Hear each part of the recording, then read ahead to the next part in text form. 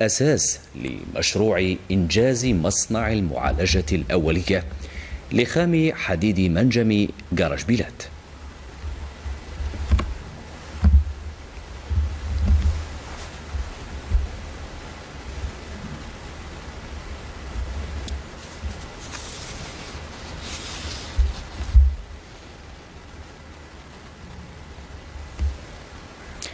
هذا المشروع سيحدث نهضة تنموية واقتصادية في هذه الولاية التي ستصبح قطبا للصناعة المنجمية.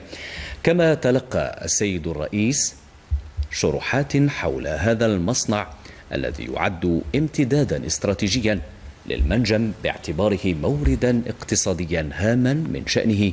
توفير أزيد من أربعة ألاف إلى خمسة ألاف منصب شغل دائم لشباب المنطقة.